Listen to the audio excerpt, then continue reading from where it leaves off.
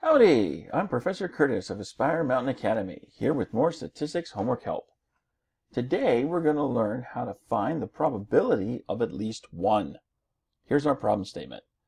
Subjects for the next presidential election poll are contacted using telephone numbers in which the last four digits are randomly selected with replacement. Find the probability that for one such phone number, the last four digits include at least one zero. Okay, so what we're looking at here is the probability of at least one of those four digits at the end of the phone number being zero.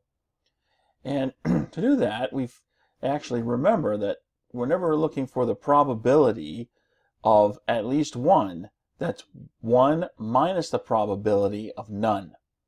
So the probability that none of those last four numbers are zero subtracted from one is going to give us the probability of at least 1.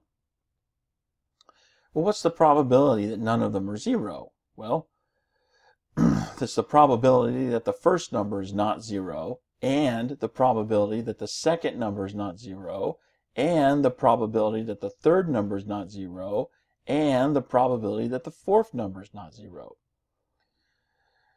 Okay, so from this point, what do we do? Well, what's the probability that the first one is not 0? Well, we go through and we substitute, we find that it's the part over the whole. So there are nine numbers that are not zero.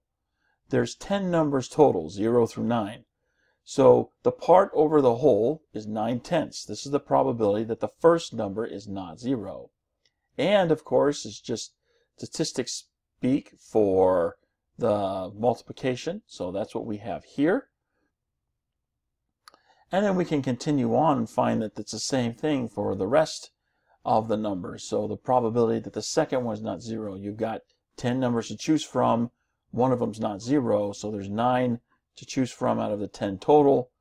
And it just goes on like that. So we can just continue on like this. Now at this point in the expression, we can simplify this because we've got 9 tenths multiplied by itself. There's four of them.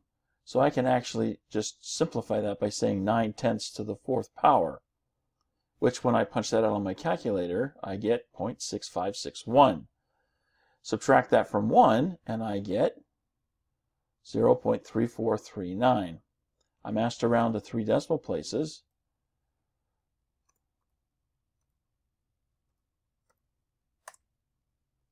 Nice work! And that's how we do it at Aspire Mountain Academy. Be sure to leave your comments below and let us know how good a job we did or how we can improve. And if your stats teacher is boring or just doesn't want to help you learn stats, go to AspireMountainAcademy.com where you can learn more about accessing our lecture videos or provide feedback on what you'd like to see. Thanks for watching. We'll see you in the next video.